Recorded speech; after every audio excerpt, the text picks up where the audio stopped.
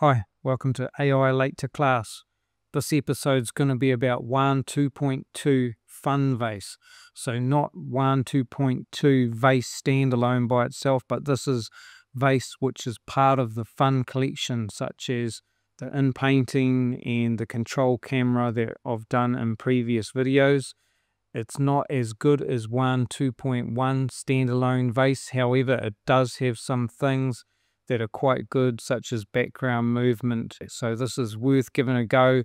If we look up here on the Vace collection on what it does, I'm just going to go over these first three. So the typical reference to video one, where we have two characters and put them in a video scene together.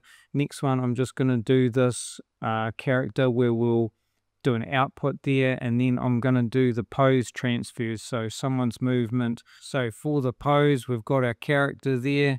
We then upload our movement video. It goes into the DW pose estimator and puts out our images. We saw at the start the other one we're going to look at. We're going to have the image over here. In this case I've got an alien and a spaceship and then we're going to make a prompt that puts those together. So I've done two examples here. Got the spaceship sort of going behind them on a wasteland. And this one, I had another character in it that comes into the background. And I'll just lastly look at how uh, painting. So that's our end result. We'll just look at our start one. So we've got our image over here. Just a still image. And goes to that nice output. So stick around if you want to learn how to do that, subscribe and like. Starting with the pose transfer workflow, I had a bit of trouble getting this going and it has to be done in the Wan video wrapper. So cannot do this in the native format. So anyway, let's have a look at the top here. And we've got our text to video GGUF. I'm using the Q4 version low and high as you're used to with the two split models. Um, I've got block swap on these at 40. This thing is quite heavy, right? So I've got a block swap on that one and I've got a block swap on the top one as well.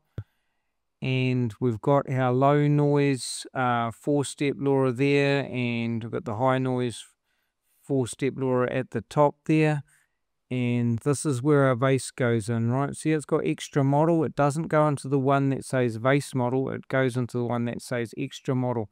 I'm using the Q4 GGUF. Just remember, if you're using a GGUF Vace model, you also have to have a GGUF base model as well. If you want it the other way around, if you want a safe tensor in there, then you have to have a safe tensor in there.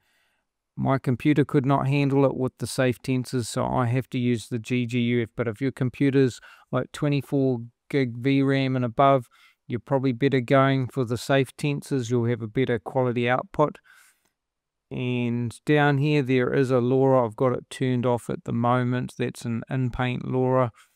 Um, just testing that with that on and off just to see how it goes. Down here I've got the UMT5XXL scaled safe tensor and right next to that I've got the WAN 2.1 VAE and that's all the models you should need. When writing the prompt don't get too complicated. I've just got a woman dancing. If you start writing other stuff because it's a text to video model it'll start drawing other things in there so just keep it simple.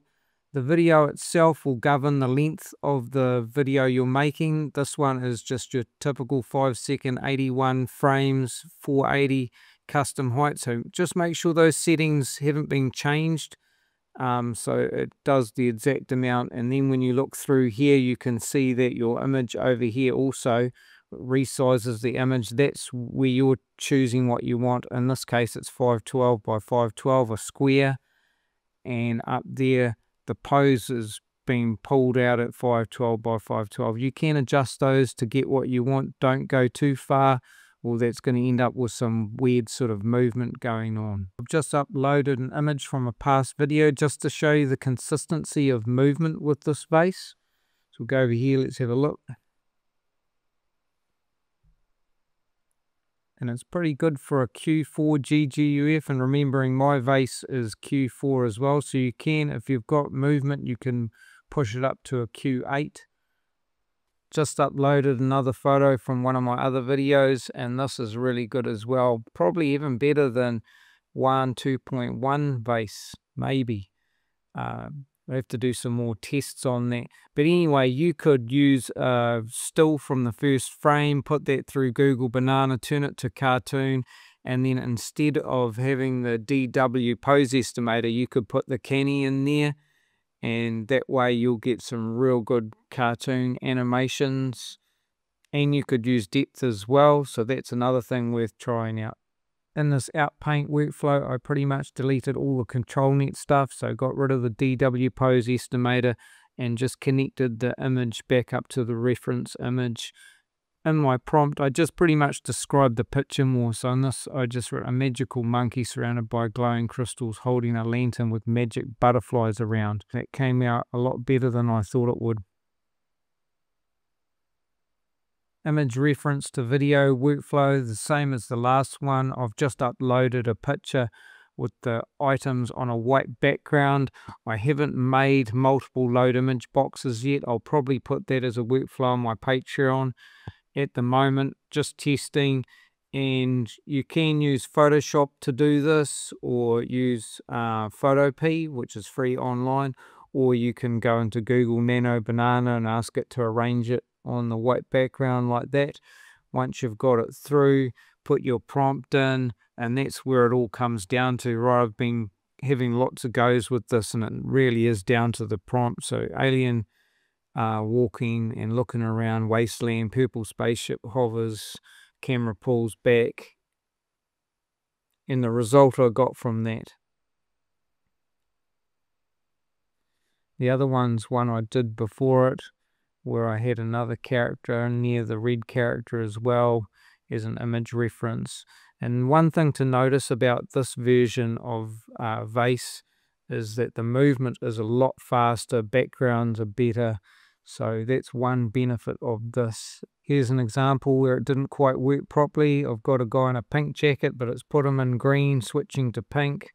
And the other one is gone from a half orange, half green to changing to pink and it almost looks like the man turns into a woman as he's running back. However, notice the background. The background is really good. Unlike normal Wan or other Vace, this is probably the best one that does good backgrounds, doesn't morph them too much, and has a lot of fast movement. Where do we get the models? I'm going to have all of these links in the comments but this one here is our actual Vace module, the GGUF. I'm using those Q4s. I could probably try the Q8, so I haven't done that. It's not that much bigger, and I think I'll be able to do that, and it'll probably have a way better quality output for those. But I also need to be choosing my high noise and low noise on the text to video. So I'm using the Q4s on those as well. I could probably push them up. How long I want to wait, I guess. Um, you need both of those, low noise as well. Over here, choose a lightning LoRa from this group. You'll also need your fun in-paint LoRas. You'll need the VAE in here. And you'll need your text encoder, which is the scaled safe tensor. So put the models in the diffusion folder, put the VAE in the VAE folder, the text encoder in the text and folder, and the LoRa's in the LoRa folder. I'm going to have a go at some of these other Vace outputs so I can get back to you with another video. Meanwhile, subscribe if you haven't, like, watch my videos uh, longer so that gives me more watch hours. I do have a long length workflow on my Patreon for sale if you want to purchase that and we'll see you next time.